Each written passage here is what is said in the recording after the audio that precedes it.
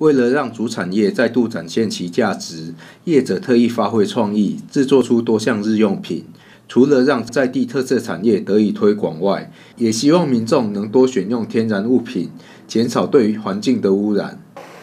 呃，我们元泰竹艺社是一间在地三十年的老工厂。那我们早期是做竹棒针起家，那都是代工厂为主。那因为受到就市场的影响，所以它已经逐渐没落。那我们呃重新回来竹山之后，就开发了其他比较不一样的生活用品，然后试图转型。那我们开发的就是竹牙刷、竹杯子跟竹吸管，生活用品的再重新设计，然后让大家生活里面有可以选择，而不是呃就单一选择是塑胶的牙刷或者是塑胶的杯子。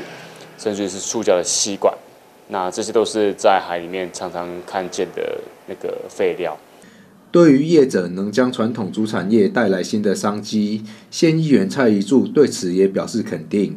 蔡议员也邀请民众到竹山来欣赏这些优质精致的文创竹制品。竹山是竹的故乡啊，在我们竹山镇的元泰竹艺社，非常的啊用心啊，把在地的这个产业。哦，就是竹子啊，能够把它加工哦，很多的这个文创的这个成品啊，欢迎喜爱哦竹艺品的这些好朋友都能够到竹山到元泰竹艺社来看看哦竹制品的文创产业。议长何胜峰表示，传统竹产业融入新元素，带来新的商机，是相当值得肯定的行为。